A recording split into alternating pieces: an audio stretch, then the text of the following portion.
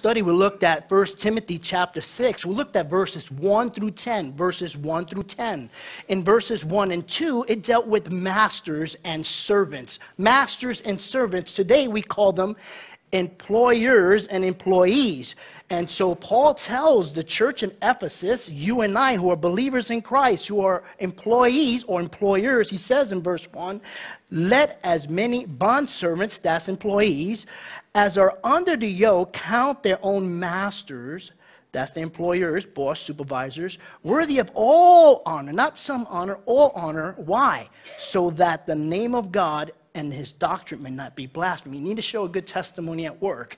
Then we looked at verses 3 to 5, verses 3 to 5, and it dealt with false teachers. And this is what Paul does in all his epistles. Why? Because there will always be false teachers. And in verse 3, I want to point that one out. It says, If anyone teaches otherwise and does not consent to the wholesome word, even the words of our Lord Jesus Christ, and to the doctrine which, according with his godliness, he is proud, knowing absolutely nothing. That's how it is in the Greek. But what does he say in verse 5? He says, From such withdraw yourself. When you come across false prophets, false teachers who are teaching doctrines outside of Scripture, not even quoting from Jesus. In the four Gospels, Matthew, Mark, Luke, and John, Paul says, Withdraw yourself from that person. Run away. Run away. They have nothing good to say. They're not teaching the Word of God. Then we looked at verses 6 to 10. It talks about true contentment. Um, he says in verse 6 and 7 Now, godliness with contentment is great gain. false teachers were teaching something opposite name it, claim it, shake it and bake it, blab it and grab it. Prosperity teachers, you know, the ones that are on TV, you know. Um, he says, he says, For we brought nothing into this world, and it is certain we can carry nothing out and having food and clothing, with these we shall be content. So, as a believer in Jesus Christ, the things that we ought to be content with is clothing and food. That's all you need to survive. And let me tell you, uh, in America, I think we don't have a problem with that. Okay? We need to be content with these things. Now, that brings us to the end, the closing of Paul's first letter to Timothy. And in chapter 6, we're going to look at verses 11 through 21. And so let us read the passage before us in verses 11 through 21. Paul writes in verse 11, he says this But you, O man of God, flee these things and pursue righteousness, godliness, faith, love, patience, gentleness. Fight the good fight of faith lay hold on eternal life, to which you were also called and have confessed the good confession in the presence of many witnesses. I urge you, in the sight of God, who gives life to all things, and before Christ Jesus, who witnessed the good confession before Pontius Pilate, that you keep this commandment without spot, blameless, unto our Lord Jesus Christ's appearing which he will manifest in his own time. He who is blessed and the only potentate, the King of kings and Lord of lords, who also has immortality, dwelling in unapproachable light, whom no man has seen or can see, to whom be honor and everlasting power. Amen. Command those who are rich in this present age not to be haughty nor to trust in uncertain riches, but in the living God, who gives us richly all things to enjoy. Let them do good, that they may be rich in good works, ready to give, willing to share, storing up for themselves a good foundation from the time to come, that they may lay hold on eternal life. O Timothy, guard what was committed to your trust avoiding the profane and idle babblings and contradictions of which of what is falsely called knowledge by professing it. Some have strayed concerning the faith. Grace be with you, and all God's people say, Amen. Amen. We now come to verses 11 to 21 of 1 Timothy chapter 6, where the Apostle Paul, again, he's closing his letter. He's giving Timothy his final instructions, final instructions to Timothy as a pastor, but also 1 Timothy is a letter for pastors, elders, deacons, and also uh, the church, all of us. But we see that all that Paul has encouraged Timothy, it's also applicable for us as believers in Jesus Christ. But it's expected and it's required for a leader in the house of God. And so we're going to break this down in verses 11 through 16. Verses 11 through 16, Paul commands uh, Timothy to fight the good fight of faith. Fight the good fight of faith. And in verses 17 through 19, Paul commands the, those who are wealthy in the church uh, to, you know, he's going to give a commandment. And believe it or not, there are wealthy people in church. In verses 20 to 21, Paul will end his letter with a warning to guard the faith. Guard the faith, the faith, I'm sorry, in verses 20 and 21. Well, we read our text. Let us now study it verse by verse. Let's look at verse 11. Verse 11, Paul begins by saying, But you, O man of God, but you, O man of God. Paul is, is, is, now turned his attention directly to Pastor Timothy. Timothy is a young man, he's a young pastor in the church. He's now addressing him directly. He said, But you, but you, Timothy, but you. Uh, and, and in contrast to what he has spoken back in verses 3 through 5. In verses 3 to 5, uh, he's addressing the false teachers, you remember. Now, but you, you're not a false teacher. But you, Timothy, O man of God. Now, the title is interesting, man of God. Uh, it, was, it was often used, that title was used in the Old Testament. In the Old Testament, was used, as a matter of fact, 76 times, man of God. Man of God, pointing to the prophets or those who were God who had godlike behavior. So, man of God is mentioned 76 times, uh, including to describe a great man of God like Moses, Elijah, and also Samuel, just to name a few. They were called man of God.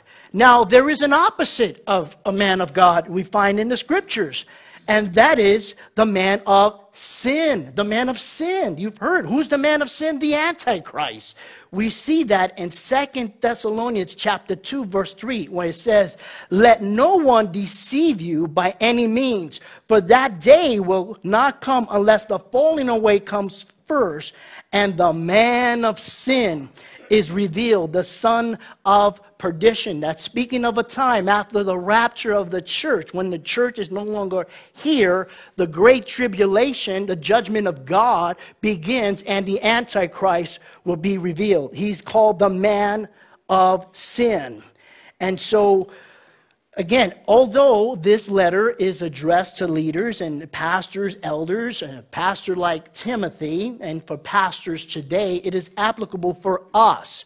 And I know that, you know, even though Paul mentions man of God here, you find it, it's only mentioned twice in the New Testament. Man of God is only mentioned twice, 76 times in the Old Testament, twice in the New Testament. Here, in 1 Timothy chapter 6, verse 11, and the second time, he uses, uh, uses the, the, term, the title men of God a little bit freely. Is not only speaking to a man, speaking of a you know, man, but it's speaking men, humanity in general. How do we know that? Well, when the second time that it appears, the title, is in 2 Timothy chapter 3, verses 16 to 17. And this is what Paul wrote. He said, All scripture is given by inspiration of God and, this, and is profitable for doctrine, for reproof, for correction, for instruction in righteousness, that here it is, the man of God may be complete, thoroughly equipped for every good work. Now we know this is used freely because this applies to every single one of us. We depend on the scriptures of God and we believe that is inspired by God, written by man, but we know is inspired by God. How do we know that? Well, because the Bible, it, it complements each other.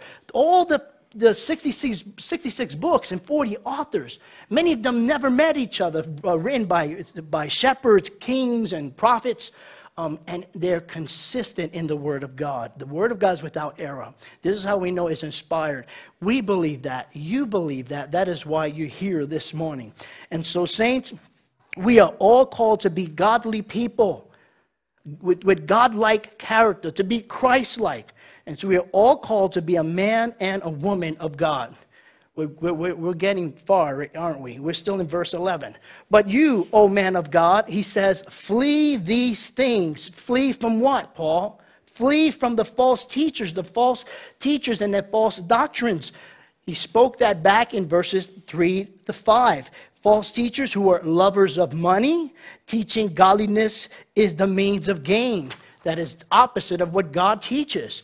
And so Paul said at the end of verse 5, from such withdraw yourself. Here he says, flee from these things. So he says, but you, O man of God, flee these things and pursue. You're going to run for something. I want you to flee from false prophets, flee from false teachers, Flee from false doctrine, but I want you to pursue these things. And Paul's going to list six virtues, six things we are to pursue. And that applies for every single one of us. Number one, pursue righteousness. Pursue righteousness. What is righteousness? Well, right, it's not speaking of your righteousness because the scripture says there's none who is righteous. And that's in Romans chapter 3, verse 10 where Paul writes, It is written, There's none righteous, no, not one. Neither, no one is righteous. But when we come to Christ, when we come to Jesus Christ, He closes that person with His righteousness. So every one of us, positionally, we're righteous. But you look at each other and you say, This person's not righteous. No, practically, we're not. But you know, when we accept Christ as Lord and personal Savior, you're considered complete in Christ. Again, positionally, because who you are in Christ, because of Christ. Practically, okay, you, are working to be complete by the Holy Spirit. We're being renewed day by day, the scripture tells us. And so, you and I, when we came to Christ, He clothed us with righteousness. Look what the prophet Isaiah said. Isaiah said in, six, in chapter 61, verse 10, he says, For he has clothed, speaking of Christ, he has clothed me with the garment of salvation. He has covered me with the robe of righteousness. That is what God does when we come to him. When we come to him, you may say, well, I'm a mess. Yes, so am I. No one is righteous. No, not one. Scripture says our righteousness is as filthy rags. Even the best that you can do is considered filthy rags. But because of who we are in Christ, righteous. But here is not talking about that righteousness, the righteousness that's imputed into us in, at salvation. It is talking about ho- holy life, to live a holy life. Be righteous. In other words, the man and woman of God is known for doing what is right, biblically right. So the man of God and the woman of God are to pursue righteousness, number one. Second thing we're to pursue is godliness. While righteousness looks at the outward behavior, you know, we could see someone if they're being righteous, if you will. We don't know their heart, only God knows their heart. But technically, we do know their heart because the Bible says the heart is corrupt, who can know it? And people say, Well, you don't know my heart. I know your heart. It's just like my heart. It's corrupt, who can know it? Yes, we have Christ, but it's being renewed day by day. The heart is wicked. That's why, you know, the, the, the, Jesus says that the, the, the flesh is weak, but the spirit is willing. And it's something we need to work at every day. Righteousness deals with the outward behavior, while godliness deals with the inward, the attitude, the motives. You see, God knows the motives. God knows the motive of everyone's heart. Yeah, I may not know, according to scriptures, yes, your heart is corrupted, but I don't know your motives. We don't know each other's motives. That's why we need to be careful not to judge. That's why Jesus said, hey, you know, before you judge, take that speck, you know, that telephone pole out of your eye before you judge someone else. Okay, and it's a judgment of, you know, speaking of judgment of fruit, you know, people, there is a judgment, which is a righteous judgment. So people say, oh, you shouldn't judge. No, there is a judgment unto righteousness. It's a righteous judgment. But don't judge in the sense of condemning that person, that what, judging them by what they did, they're going to hell for that. That is a bad judge. Judgment unto condemnation is what Jesus is talking about. And we, we need to realize that when we start judging, you know, that, hey, the, the stones are going to drop. Jesus is going to ask everyone, as he did the Pharisees back then, when the woman that was brought before him, uh, he without sin cast the first stone. See, sin looks better, okay, when you do it. It doesn't look good when somebody else does, does it. We need to be careful. So the motives, but we need to be godly. And the motive, God, the godly motives we should have in the heart. So a man and woman of God are to pursue righteousness and godliness. And the third thing they are to uh, pursue is faith. Faith. And it, it's, it's, speaking of us being faithful, faithful, and, and, and having faith in God, trusting in Him in everything. It sets an example to the world because quite often, you know, we, you could easily encourage somebody, you know, you need to have faith. How many times we needed to have faith? It's, we need to pursue faith. We need to trust in God in not some of the things, but all things. All things. The next thing we're to pursue is love. And the love here is the agape love. Agape is an unconditional sacrificial love. And a sacrificial love, if, if, it is to consider others and forsake yourself. It is to love and to seek and to give and not to gain. Unconditional love. It's not I love you because or if or maybe or when. It's I love you, period. That's unconditional love. And that's the love it's talking about here. It's not a like. It's a love, unconditional love. The fifth thing we're to pursue is patience or perseverance, endurance. We need to pursue this in our walk with the Lord. Because how, often we fall short, how often we fail, how often we grow cold. And we have no interest in the things of God anymore. We have no interest. Patience that enables the man and woman of God to stay the course, sticking it, sticking, sticking it, sticking to it when the going gets tough, no matter the cost. Patience and then six and finally, gentleness. Uh, gentleness. Uh, another word for gentleness, if you're looking in the Greek, is, is really meekness. And meekness does not mean weakness. Moses was called the, uh, the meekest man on earth, but he was by far be weak. If he killed another Egyptian and to lead two and a half million people, I find it hard to, to, to, to lead 12 people. Two and a half million people, he's not a meek man. I mean, weak man. He is meek, but not weak. Meekness means power under control. Power under control. And so now, these virtues that we just read here uh, righteousness, godliness, faith, love, patience, and, and, and gentleness are, are really, they're not valued in the world. The world doesn't care about this, but they're valuable to God especially to the man and woman of God. If you consider yourself a believer in Jesus Christ, these are the things we ought to pursue. So it's not only for leaders, it's not only for pastors, for each and every one of us. Now in verse 12, Paul says, in verse 12, fight the good fight of faith, lay hold on the eternal life. Now, a man and a woman of God, we are to fight the good fight of faith. And Paul is not promoting violence here. He's not speaking of a physical fight, but obviously there's a spiritual fight. We forget that there is a fight spiritually. We forget that we need to build ourselves strong spiritually in order to be, be able to fight spiritually. That's a come quite often we lose because we're not, we're not uh, seeking the Lord. We're not spending time in devotion. We're not spending time in His Word and in prayer. So we get weak. He's not talking about a physical carnal fight, but a spiritual one. Now, the first word for fight, you see fight mentioned twice here fight, the good fight of faith. The first word for fight here is slightly different than the second. And the word here in the Greek is agonizomai. Agonizomai, and it means, we can almost say it in English, agonize. Agonize is to contend, to struggle with agony, difficulties, and danger.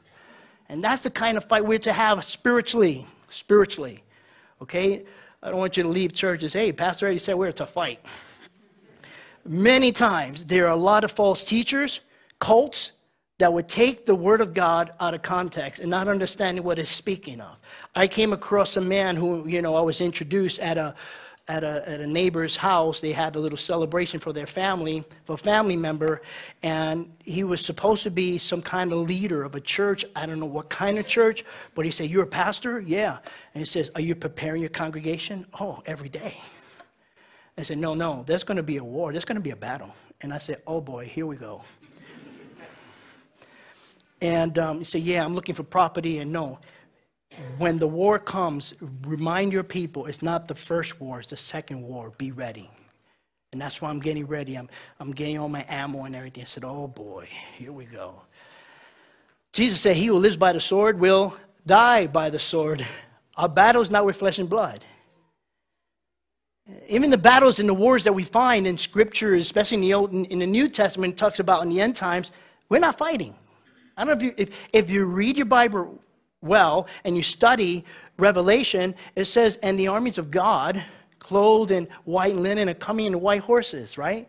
And, you know, I like what Jon Courson calls it. He says, the bride of Christ is the bride in combat boots. The church, we're coming with Christ, but we're not going to do a thing. We're just going to stand on a white horse looking pretty. And if you don't know how to ride a horse, that day you will, I promise you. And you're gonna, we're going to come in that battle. We, Christ is going to, just by his word, the very word that said, light be, create, that created light, created heaven, created the earth, is the very light that's going to destroy everything. He doesn't need our help. And so this battle here is a fight for the faith. It's a fight. It's a spiritual fight. And men and women of God, people of God, uh, we're going to go through some difficult times, and it's going to cause agony. It's going to cause uh, some kind of suffer, uh, pain and, and, and struggle. But we must fight the good fight of faith. It's a spiritual one, it's not a fleshly one, it's not a cardinal one. And this is what Paul writes in Ephesians chapter 6, verse 12. He says, For we do not wrestle against flesh and blood, but against principalities, against powers, against the rulers of the darkness of this age, against spiritual hosts of wickedness in the heavenly places. So, saints, we're to fight and what are we fighting for? We're fighting for the eternal.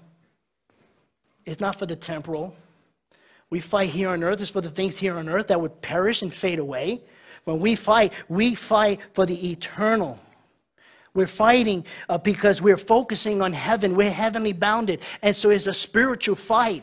And that's what we ought to fight. Stay the course. Pursue the things that Paul said pursue righteousness, godliness, love, faith. Pursue these things. And there is a battle, it's a spiritual battle. Good news is that when we do fight and we do have a battle, that God is fighting for us and he's fighting with us. Second Corinthians chapter 10 verse 4 it says for the weapons of our warfare are not carnal, fleshly, but mighty in God from pulling down strongholds.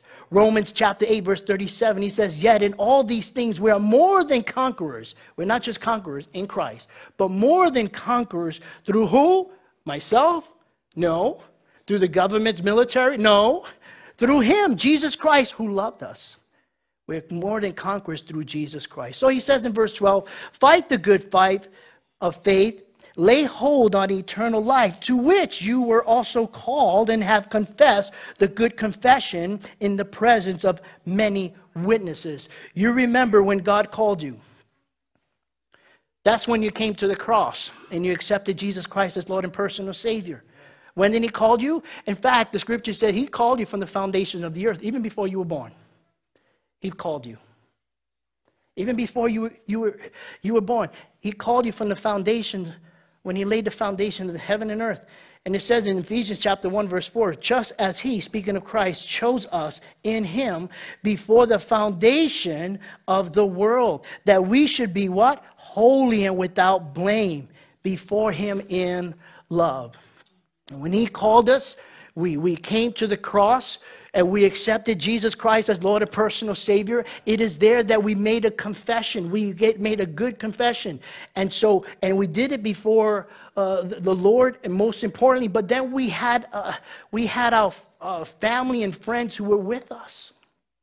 They were with us and they witnessed uh, us coming to Christ. So it's a fight. Fight the good fight of faith. Verse 13, he said, I urge you in the sight of God who gives life to all things, and before Christ Jesus who witnessed the good confession before Pontius Pilate before Pontius Pilate. You remember uh, the time when the Roman governor, uh, Pontius Pilate, um, uh, asked Jesus the question, and we find that in John chapter 18, verse 37. And, and Pontius Pilate asked Jesus, Are you a king then? Jesus answered, You say rightly that I am a king. For this cause I was born, and for this cause I have come into the world, that I should bear witness to the truth. Everyone who is of the truth hears my voice. So we have an example of what it is to make that good confession. And the greatest example, the ultimate example, is Jesus Christ. And he says, and before Christ Jesus, who witnessed the good confession before Pontius Pilate, verse 14, he says that you keep this commandment without spot, blameless, unto the Lord Jesus Christ appearing. So we're to remain faithful, keeping the commandment, not the commandment Paul is referring to. If we read it in context, he is referring to the commandment to stay away from false teachers in verses 3 to 5 of chapter 6. When it comes to false teachers, what does he say?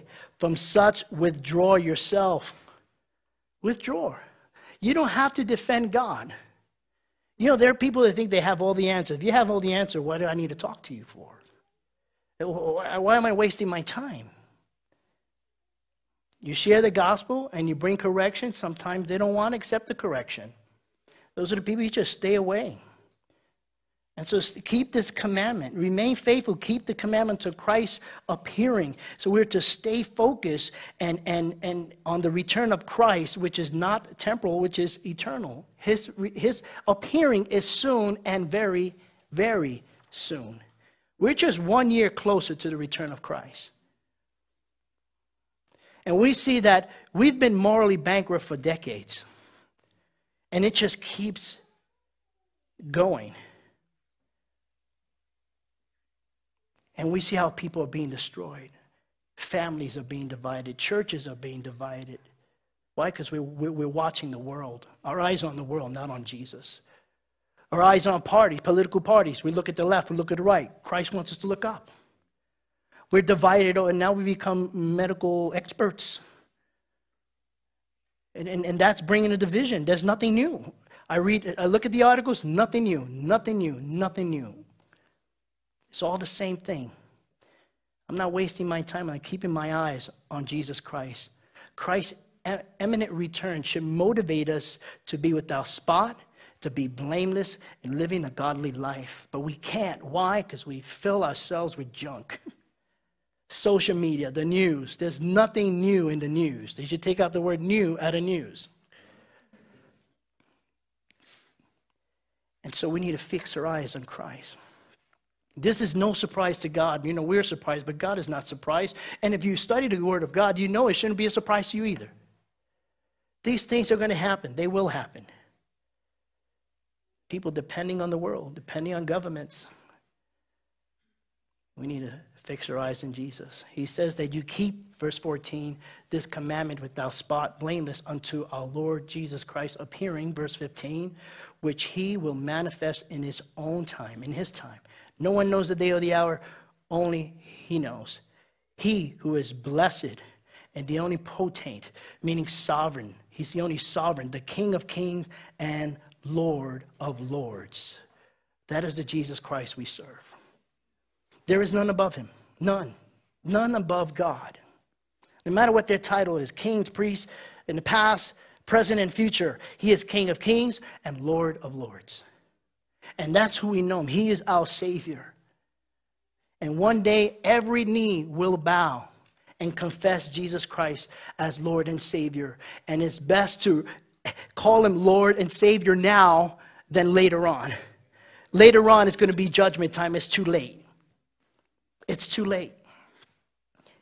Call him Lord and Savior now.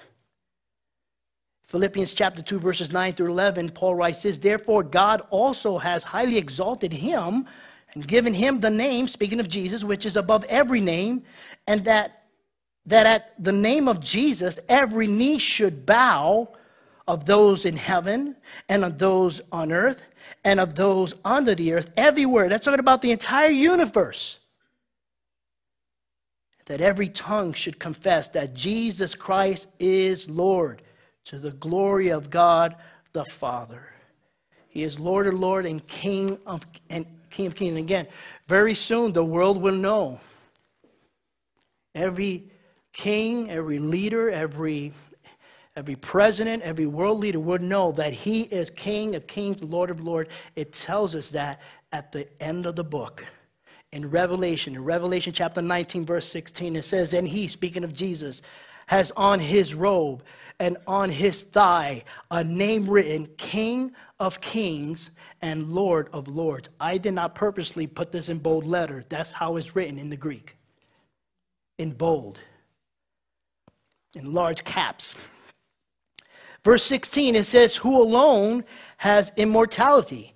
In other words, he's not subject to death. Jesus is not subject to death. He died, but he rose on the third day. Man is subject to death. One day, we all know our birthday, we know it very well. We celebrate it every year. But one day, there's going to be another date that is not your birthday. It's going to be the end of your life. And only God knows that day. Only God knows that day. We celebrate the birth, and that's great. And we mourn at the birth, at the, not at the end with the date, but that little dash in the middle that's on the tombstone is what's important. It would determine that what would happen when you're no longer alive, when your spirit leaves, leaves your body, when it goes before the Lord. We are subject to death, not the Lord. In fact, Jesus is not only uh, not subject to death, but he conquered death. When did he conquer death? When the tomb was empty. When he rose on the third day, which we're going to celebrate. Uh, well, we celebrate that every day. but it's coming to that time in um, two months from now. He says, dwelling in unapproachable light, whom no man has seen or can see, to whom be honor and everlasting power. Amen. Such light with which Christ surround himself in glory that even, even the seraphims and the angels cannot, cannot look at the Lord. You think about that. Heavenly eyes and the angels. Now, angels got, Christ did not die for angels, okay? Angels have no soul. Christ died for you. That's why the angels, they study humanity. They study human. They're studying you. Why did Jesus, the creator created me, is so worried about these people? They're blown away. But even the seraphims, even their eyes, when we get to heaven, we're going to have holy eyes. That's why you can't go to heaven in the flesh. You have to have a glorified body. Otherwise, you disintegrate if you stand before the Lord.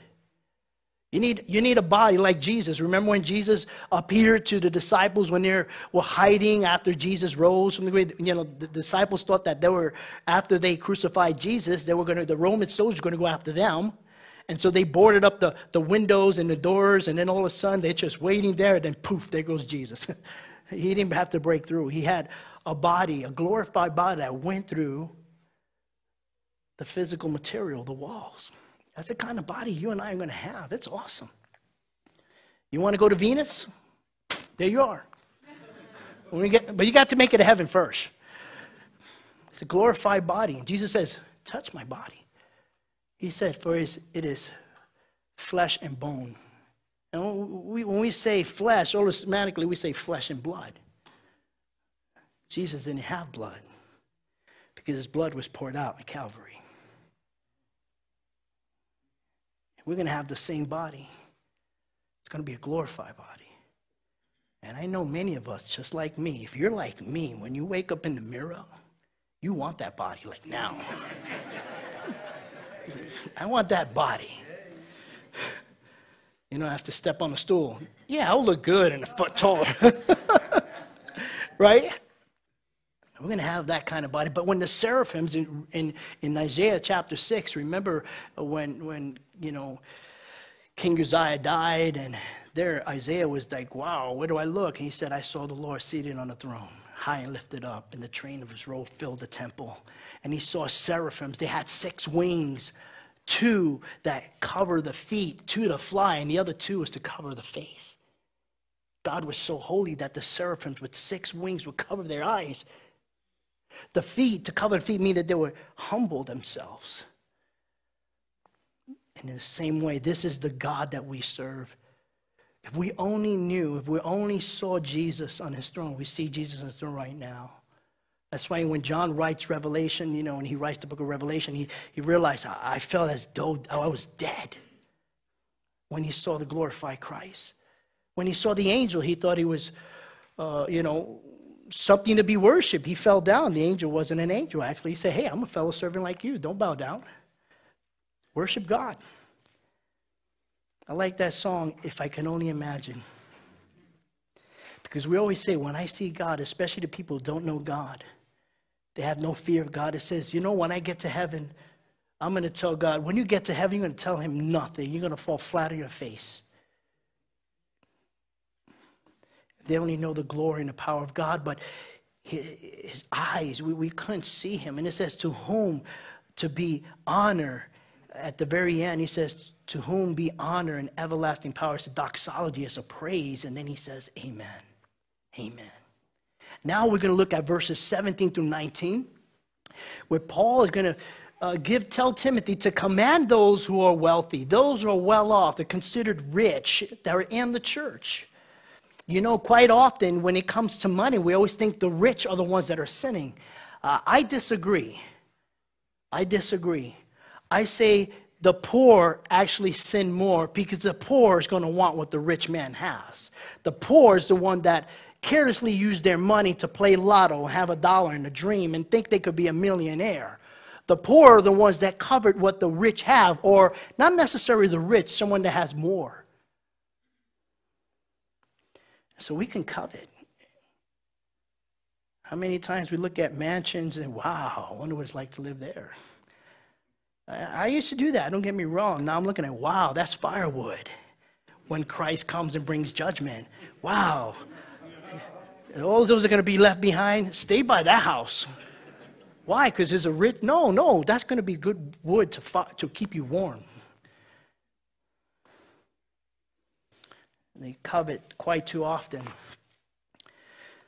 Now, Paul already condemned those who were attempting to, to, to be rich. Remember, those who wanted to be wealthy. We looked at that in our last study.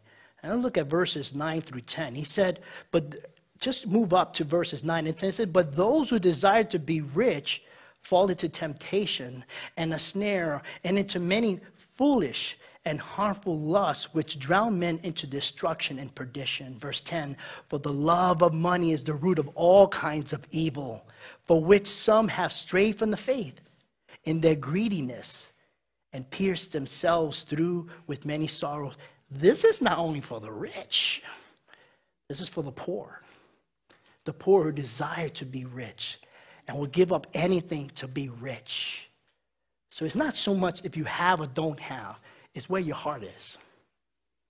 But here in the church of Ephesus, there are believers, because he's writing to believers. He's not going to write this to unbelievers who are wealthy, because what good would this scripture be to them? Remember the rich man that came to Jesus? Jesus, what must I do to follow the young rich ruler? Jesus says, Well, follow the commandments, right? He says, I followed them since I was a kid.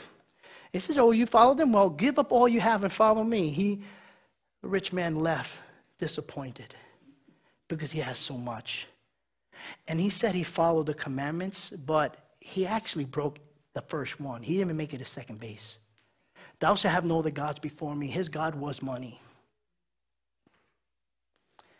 And so here's the command, verse 17. He says, Command those who are rich in, the, in this present age, and obviously it's applicable for us, do not be haughty.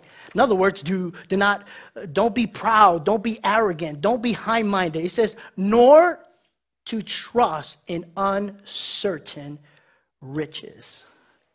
You can't trust money, no matter how good you are with it,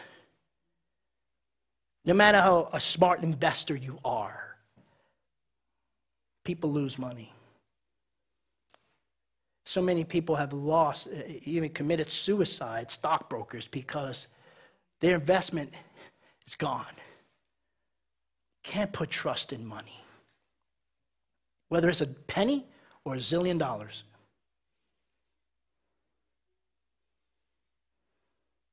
Don't trust in it. Riches are uncertain. It's forever changing. People forever losing it, whether it's stolen, whether it's been swindled, or you've been sued for it. It fades away. Do not trust in uncertain riches. Here's a couple of Proverbs. Proverbs chapter uh, 11, verse 28 says, Trust in your money, and down you go. I'm giving it to you from the New Living Translation, by the way. But the godly flourish like leaves in spring. Here's another one Proverbs 23, verses 4 and 5. It says, Don't wear yourself out trying to get rich. How many people do that? How many times you have to do overtime just to get rich? How many times became a workaholic? You left your family, your marriage is on the rocks, and you don't know where, you, where your kids are. Don't wear yourself out trying to get rich. Be wise enough to know when to quit. In the blink of an eye, wealth disappears, for it will sprout wings and fly away like an eagle. It's important to, you know, I, I praise God for conviction by the Holy Spirit. And I praise God that I, in, in, in my career as a police officer, I, you know, there was so much overtime. But I was never one to be known to take the overtime. Uh, people would say, Panero, why you not? It's easy money. You just gotta stand in the parade and look the parade go down. It's easy money. eh, I, I like to be at church. I like to be home with my family. Always putting it down. When they would order me, okay, I got to be ordered. I could easily find somebody who'll come to me, hey, Panero, did you order you? I'll take it. sure, take it. I'd rather be home. I'd rather be in ministry. Because the more you want, the more you will keep wanting. You know, Jesus spoke about the foolish rich man. He gave a parable in Luke chapter 12. The rich man said, Well, you know, I'm going to build greater barns. You remember that? I'm going to build greater barns and store all my crops and all my goods. And I will say to my soul, once I've done all, I'll say to my soul, I have many goods laid up for me for many years. Take ease, eat, drink, and be merry. At the end of that proverb, Jesus says in Luke chapter 12, verses 20 to 21, Jesus says, But God said to him, Fool, this night your soul will be required of you. Then whose will those things be which you have provided? So is he who lays up treasure for himself and is not rich towards God. Money is not certain. Don't place your trust in money. You will lose sleep. You will even lose your, your family. Your marriage will be destroyed. Put your faith in God. God will supply some of your needs. No. The Bible says He will supply all your needs, not wants. Wanting a mansion is not a want. It's not a need. It's a want. It's not a need. You supply all your needs. He says at the end, he said, but in, trust in the living God who gives us richly all things to enjoy. Trust in the living God who's alive, He's real, who gives us richly all things to enjoy. We know money can't buy you love, right? It can't buy you happiness, it can't buy you, it can't buy you time. But focus, put your trust in the living God. He gives all your needs for enjoyment. So eh, you don't have to worry about time. You don't have to worry about time. Save your money. You don't have to worry about time because God gives time. He created time. And we serve Him, He's an eternal God. And so with Him, you have all the time in the world because when you die, you shall live as a believer in Jesus Christ. You don't have to worry about buying love because we worship and serve the one who is love. And he gives unconditionally. He is love. You don't have to worry about buying happiness. Now, happiness, again, is temporary, it's based on circumstances. You could be happy you got a raise, but then be sad when you lose it. But we have joy and happiness through him, Jesus Christ. Verse 18, it says, Let them do good, that they be rich in good works, ready to give, willing to share. You know, it's God who willed those who are doing well financially. It was God's will. It was God who gives. It is not your talent. It's not because of your great looks. It's not because of your degree. If you're a believer in Jesus Christ, it is God's will that you have what you have. There was a man who uh, gave his testimony in a service once, and he gave his testimony how once he was poor, but God gave him a million dollars, so he became a millionaire. And as he was sharing how he, uh, how the Lord uh, blessed him with a million dollars when he was poor, now he's rich. At the very end of the service, this old lady went up to him with a crooked finger and it says, "Young man, God gave you that million dollars, but are you willing to give it back? Are you willing to give it back to God?" John Wesley, he made this statement. This is what he lived by he says, Do all the good you can by all the means you can, in all the ways you can, in all the places you can, at all times you can, to all the people you can, as long as ever you can. And that should be for all of us, whether you have or don't have. You know, when you don't have and you give all that you have. Now, listen, this is, you already know how many if you've been with us for almost 10 years, you know I'm not a prosperity preacher teacher, okay? And so, but this, this is where we're dealing it. This is why I talk about it, because it's here. It talks about money. We're, we're to give even when we don't have. Now you used to use wisdom. If you only have $20 in the bank, you know, and you have put food on the table for your kids, you know, God's not going to say, well, you know, you're going to give up that $20. Use wisdom. But give with a cheerful heart. Give willingly. The lady who had the two widow mite, you know, and, and in that time, in that culture, you know, they would have this container where they would actually, uh, you know, put the money, these coins in this box. And those that wanted to show off that they gave so much, they got the biggest coins because that's going to make the most noise. And they'll take this big half dollar, put in there, boom. Oh, wow, that guy gave a lot of money. Nobody want to give a widow mite, you know, because that doesn't make that much noise. And they would, they would blow the trumpets. Hey, everybody, look what I'm giving. yeah, yeah, you know, that's who I am. God loves me. God needs help in heaven, you know there are people like that. And they have their own ways of doing it. Bible says, don't let the right hand know what the left hand is doing. Don't even announce it to Pastor Eddie. I said, come, I don't know, $50 brother for $500 brother. I don't know who gives. I know the finances of the church, bills we have to pay. I don't know who gives. It's between you and the Lord. Let's come, we don't pass the plate around. Because the one with the biggest bill will raise it up higher. The one with the lowest bill will go straight from the pocket, right, keep it down low and nobody can see it, into the. It's between you and the Lord. That's why we don't pass the plate around. That's why it's in the back. It's between you and the Lord. But give. So we're to give. If you, you truly have, he said, you want to be rich, be rich in this, uh, good works, ready to give, willing to share.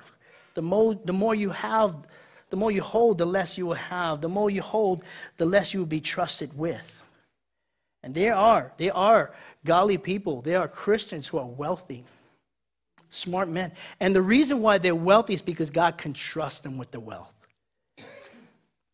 How many people say, Well, Lord, if I could, Lord, if, if I win the lottery, Lord, I'm going to give you half let me win the lottery. Yeah, right. You won't even give a penny. You won't even help. To, forget it. By the time the IRS get after you and you pay for your in-laws, the outlaws, whatever laws, and you, you have nothing left.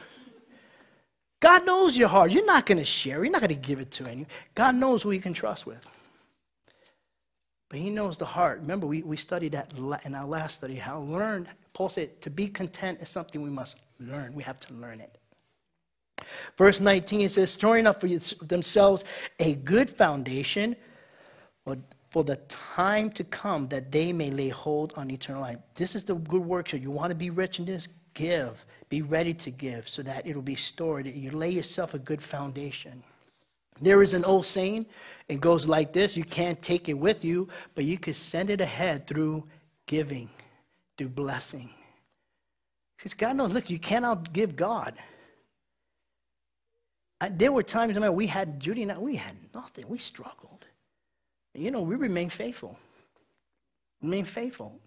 Even to this day, if, if, I, if the scripture calls us to give tithe and offering, Pastor Eddie gives tithes and offerings too. And if you're one that tithe, then I always open it up. Do you want to see if I tithe? And I don't care. You can see how much I tithe if you want. But you better be one that gives. If you don't give, don't be looking at my tithing offering. But then again, I don't want you to see what I give. I'll lose my reward in heaven. The point is that I too give because I believe and I trust in the Lord. I don't depend and hold my money. Now, Paul's coming to a close here, verses 20 and 21, but he closes with a warning and he's telling Timothy, listen, guard your heart, Timothy. Timothy, he opened up his letter. He said to beloved, he, he considered a beloved son of the faith. He was like a son to him. So look what he says in verse 20. He says, Oh, Timothy, the O. He said, Oh, Timothy. It reflects Paul's emotional appeal to Timothy. Oh, Timothy, guard what was committed to your trust. Guard it. God is giving you a talent, a gift. He's giving you a ministry. Guard it. Guard the faith. Fight the good fight of faith. Fight for it. Guard it. Guard your heart. Guard your faith. Guard the calling in your life, your ministry. Guard the truth revealed in the letter, in this letter. Guard the word of God. Keep it to your heart. He said, avoid the profane and idle babbling and contradiction of what is falsely called knowledge. These false teachers think they have great superior wisdom, and they don't. Speaks nothing of the doctrine, speaks nothing of Christ. Verse 21, he said, By professing it, some have strayed concerning their faith. Sadly, some have uh, professed Christ and have been taken away by these false doctrines. That's the reason why it's here. Is this still happening today? Absolutely. It happens in every church, and it's happening to the churches today. People follow other people, not following Christ. And in a lot of things, false doctrines and whatever it is by professing it, some have strayed concerning the faith. Grace be with you. And all God's people say, Amen. Amen. Grace. He ends with grace because that's how the book started. It started with grace.